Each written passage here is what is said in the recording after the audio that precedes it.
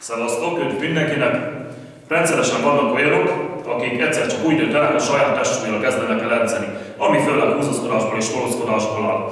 Ez többek között azért is nagyon jó, mert nem olyan tipikus egyben szolgatot kölcsönöz, jó, mondjuk én az egymással pont nem egymás szolgat vagyok, de ettől függetlenül én a 100 kilómat ugyanolyan könnyen mozgatom a húzaszkodásoknak és tolózkodásoknak köszönhetően, mint annak idején 8 koromban az 50 kilómat. Szóval tényleg egy nagyon jó kis edzésformáról van itt most szó. Viszont nagyon könnyen szétbarbolhatjuk vele a vállainkat. Ugyanis, hogyha nem megfelelőképpen erősítjük hozzá magunkat, akkor a vállizületünket körülvévő rotátorköpeny, ez egy négy izomból álló izomköpeny, ami minden irányban körülveszi és stabilizálja az izületet. Ezt túl sokat fog kapni, megerőltetjük, és évekig tartó krónikus gyulladás a eredménye.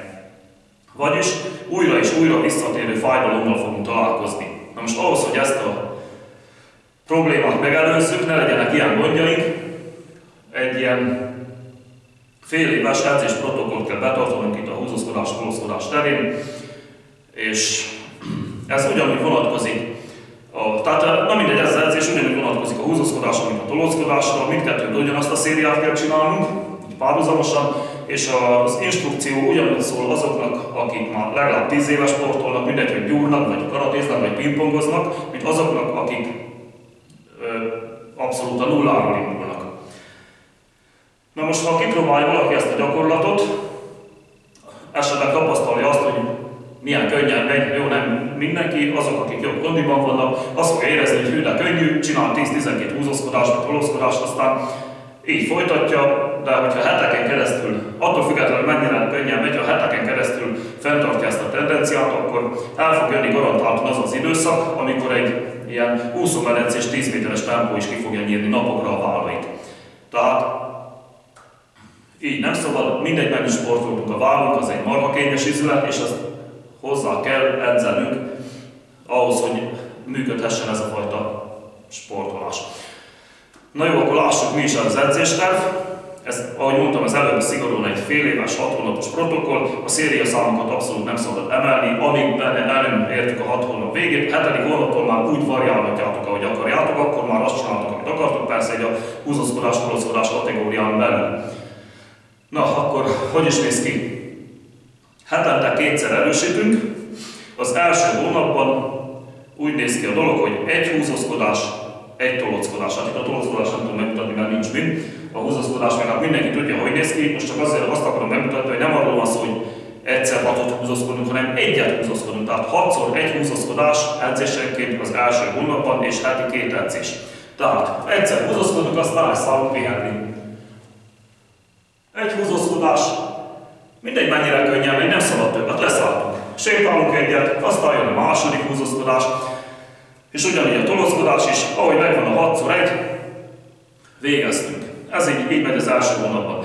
A második hónapban már 6 2 mind a, két, mind a két formából, és így tovább a hatodik hónapig. Hetedik hónaptól meg már teljesen mindegy, úgy variálhatjátok, vagy akarjátok, de ezt úgy érezni fogjátok már a hatodik hónapban, hogy amúgy is már három nyátok, meg nagyon könnyen fog menni, és érezni fogjátok magatokban a kakaót, hogy a 6 x 6 húzózkodás, 6 x 6 tolózkodás, az tényleg semmi nem fog már jelenteni a hatodik hónap végére.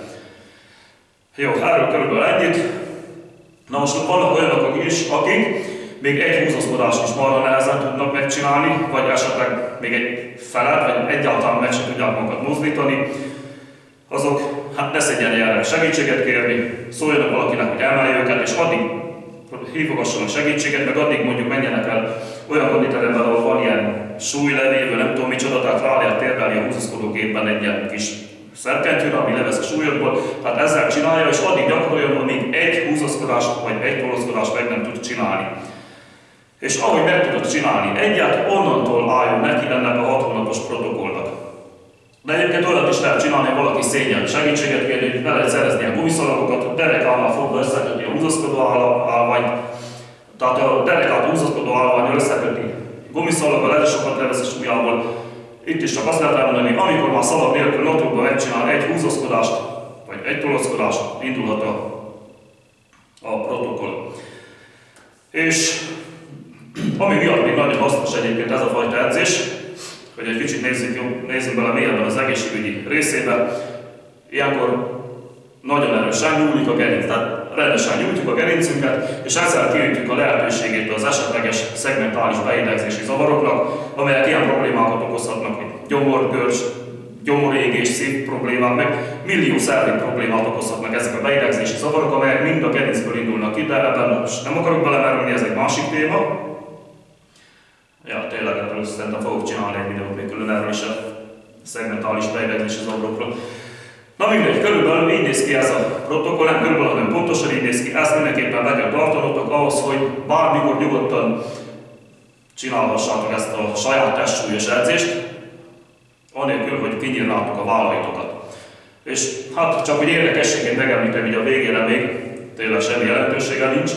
Amikor még katonaként erőléti foglalkozásokat tartottam, még a nyugdíjazásom előtt, ja, nem is mondtam azt, hogy eh, háromfajta húzózkodási, hát a katonaságnál úgy neveztek ezeket a húzózkodási fogásokat. Tehát amikor még erőléti foglalkozásokat tartottam, akkor a egy-két kiképző kollégámmal még úgy neveztek egyszerűen csak a, a háromfajta húzózkodó fogásból kettőt, hogy alsó modálfogás, felső modálfogás. De ennek tényleg nincs jelentősége, csak egy érdekességén megemlítettem, mindjárt meglátjátok, hogy pontosan miről is van szó. Tehát ha már valaki tud normálisan húzózkodni, legalább egyet, és, és ott is azért még szeretne könnyíteni a feladatán, akkor háromféle nehézségi fokozatban sorolhatunk a fogások Na most itt megint csak nem tudom megmutatni a legkönnyebben, amikor a két tenyér egymással szembenéz, úgy, úgy tudod magad a legkönnyebben felhúzni.